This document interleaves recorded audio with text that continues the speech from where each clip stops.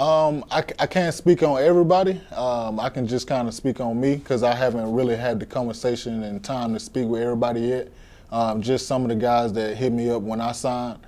But um, honestly, my opinion, uh, I feel like Jack is a great guy who can, you know, run side to side and and just being in that middle. I feel like that's um, kind of some pieces we helped with, especially with y'all know how the season went last year with some of the run game and I definitely feel like um, he can help in both situations, run and pass. I mean, I feel like I feel like it would be a nice one-two punch, but um, I haven't uh, really talked to him after the season. But um, I'm actually I came back yesterday, and uh, I'll be back here pretty much the rest of the time until we have to be back.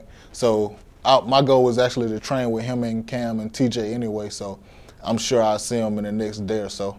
Um, honestly, I feel like I was very comfortable because I came in with a singular mindset, and that was just to come in and give what I had left and have fun.